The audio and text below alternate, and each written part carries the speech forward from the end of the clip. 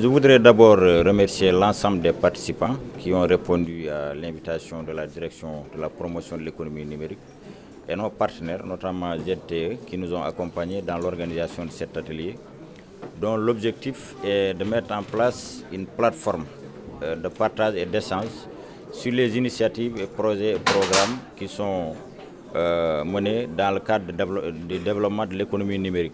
Parce qu'on a constaté qu'il y a beaucoup de choses qui sont faites par différentes structures, mais qu'il y a euh, un manque de, coordination de, ces initiatives-là.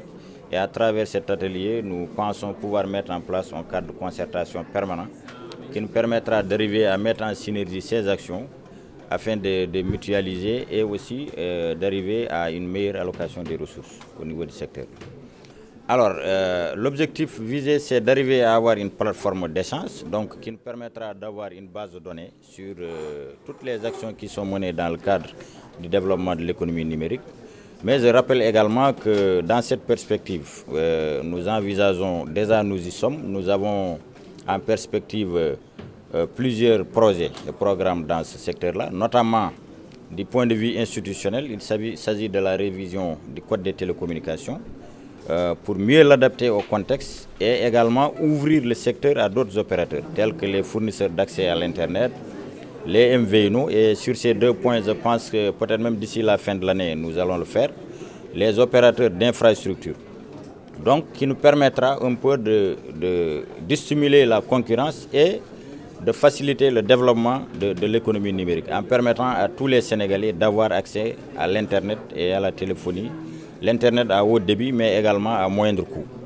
Et à travers cet atelier, vous avez entendu ce que les uns et les autres ont dit. Il y a des initiatives qui sont menées par le Fonds de développement du service universel. Et sur ce point, je rappelle également que nous envisageons de réviser la stratégie nationale de développement du service universel. Donc pour mieux l'adapter aux besoins et répondre de façon efficace aux besoins des populations.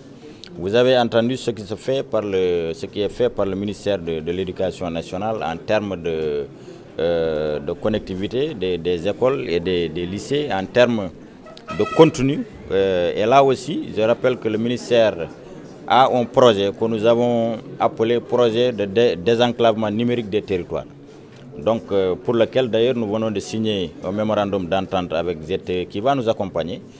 Et euh, au-delà des initiatives qui sont menées ça et là, c'est de permettre aux zones desservies, notamment aux collectivités locales dans le cadre de la mise en œuvre de l'acte 3 de la décentralisation, d'avoir des plateformes avec une gamme de e-services qui permettent aux populations d'avoir accès à l'Internet, d'avoir accès à des services, puisque aujourd'hui, comme on l'a dit et comme on le, on le constate, euh, les nouvelles technologies de l'information et de la communication sont devenues incontournables pour le développement durable de nos territoires. Aujourd'hui, euh, la cybercriminalité aujourd'hui pose problème. Et pour les communications diplomatiques et autres, il est indiqué de passer par des réseaux sécurisés, notamment le réseau de l'administration, puisque l'État dispose à travers l'ADIE de messagerie intra-gouvernementale qui permet euh, de faire des communications en toute sécurité. Je pense que c'est dans ce sens-là qu'il a été recommandé de ne pas utiliser les, les, les messageries qui sont installées à l'étranger. C'est une décision que vous approuvez bien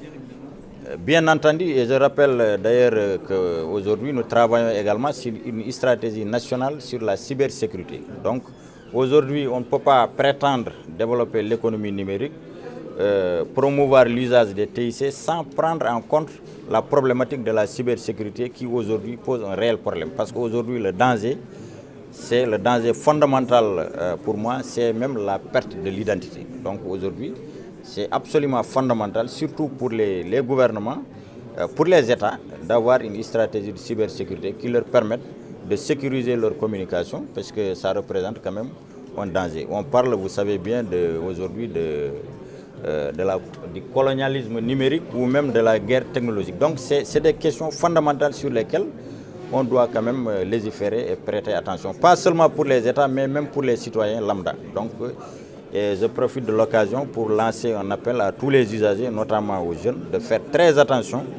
euh, avec euh, l'utilisation de ces technologies qui sont un couteau à double tranchant. Donc, euh, au-delà des aspects bénéfiques, il y a quand même des risques majeurs pour les populations.